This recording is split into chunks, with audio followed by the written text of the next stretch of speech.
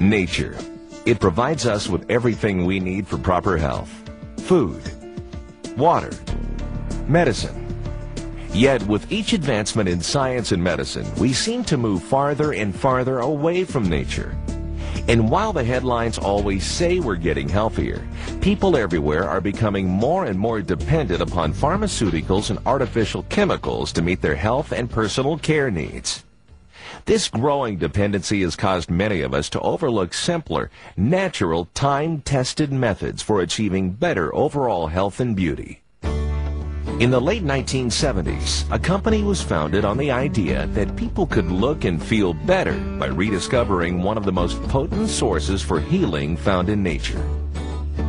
For thousands of years, civilizations had relied on the incredible soothing and healing powers of this remarkable plant, but the modern world seemed to have forgotten its many health-giving benefits.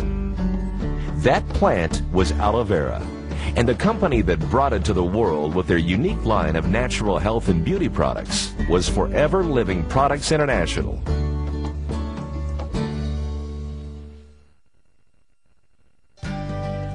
Today, aloe vera helps millions of people live healthier, happier lives, while Forever Living Products has grown to become the largest grower, manufacturer, and distributor of aloe vera and aloe vera-based products in the world.